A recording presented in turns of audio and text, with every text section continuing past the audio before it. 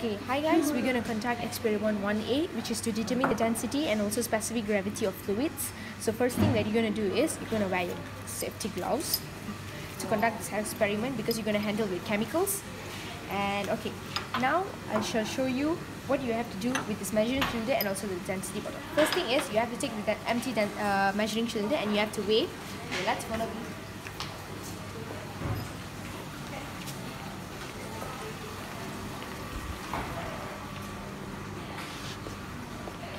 Reset. Okay wait until it appears 0 0 okay now. Okay wait until it uh, the values has been constant. Okay 50.81 take it and then you have to uh, write it in a table form. The values that have been measured.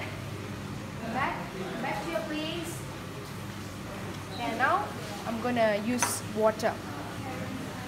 Actually you can uh, three types of uh, fluids that you have to use for this experiment which is soap oil and also water. But I'll just show you with so uh, with water first. Then you have to repeat the experiments using this oil and soap. Okay now fill it up to 25 milliliter it depends on you what type I mean what measurement that you're going to take I took 25 milliliter because it's easy because this measuring cylinder is, is the 25 milliliter measuring cylinder okay Perfect, perfect, perfect. Okay, perfecto. Okay, take this and then you have to wait. Follow me guys. As I said previously, we set this back. Then once you see it zero zero, okay, wait this.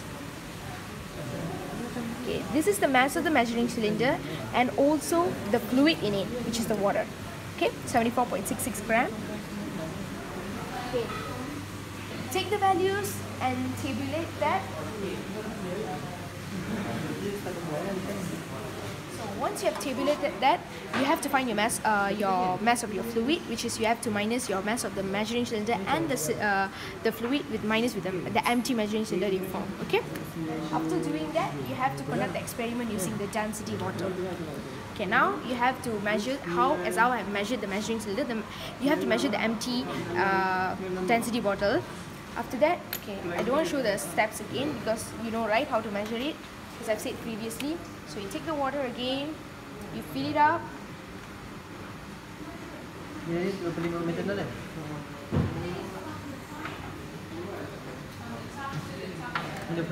Okay, just fill it up a bit enough until here. Until here enough because once you use the stopper it's like it's gonna the some of the fluid's gonna flow out. Can you see that? Yeah. Okay so this is 25 milliliter. Okay so you measure it again on the weighing balance and you get the measurement then put in the values and then you have to calculate the density and also the specific gravity so that's all from me thank you we are doing experiment number one to find the properties of fluid and this is experiment 1b which is to find the principle and usage of hydrometer. We are carrying out this experiment with three types of fluid which are water, oil and also liquid soap. So, how to conduct the experiment? First, we are, we are given various types of hydrometer with different readings. So, we have to take one hydrometer and put it inside the liquid and wait until it becomes stable. So now we'll see. This thing it's sink inside the liquid. So it is not the correct hydrometer. We'll try with different hydrometer. Ni uh, ni yang 75. Kejap kan? Ni 75 kan? 50, 50. We have to wait until the hydrometer becomes stable. This hydrometer is floating above the liquid, so we cannot take reading from this hydrometer.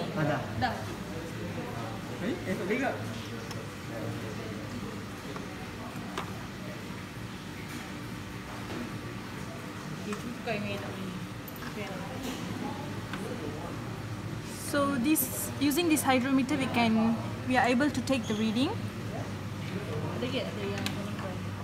The hydrometer reading shows 0.997. We have to wait until it becomes stable.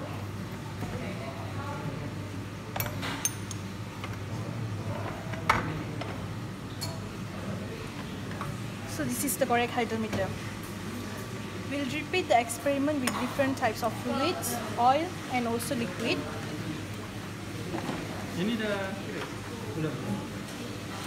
The reading for the oil is 0.912. We can see the reading from the hydrometer at this point. And the reading for the liquid soap is 1.042. Okay, hi. So for experiment 1C, we'll be finding the properties of mixture, which is the mixture of acetone and water, mixture of methanol and water. So for this round experiment, there will be three kinds of experiment. For the first one is the conventional weighing method.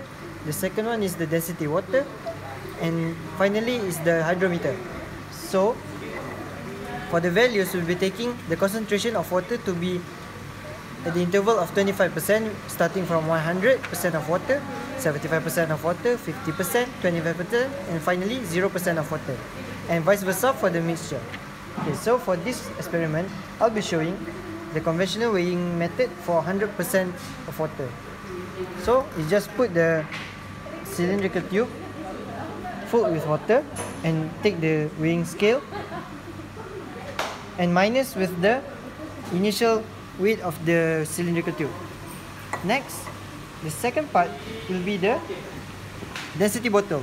So for the density bottle, we fill up the density bottle with 100% water and we put it on the scale as well. Remember to recalibrate to zero before using the scale. Okay, we'll be taking the value of the weighing scale and we'll minus the initial weight of the density bottle to find the density of the mixture, which is 100% water. And finally, is the hydrometer reading.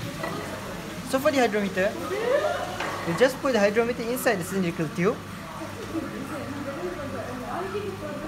until it is stabilized. And you'll take the reading of the hydrometer which is around 1 which is around 1 So for the experiment, just repeat the experiment for the mixture of 0 to 100% of the methanol and also ethanol acetone content. Thank you.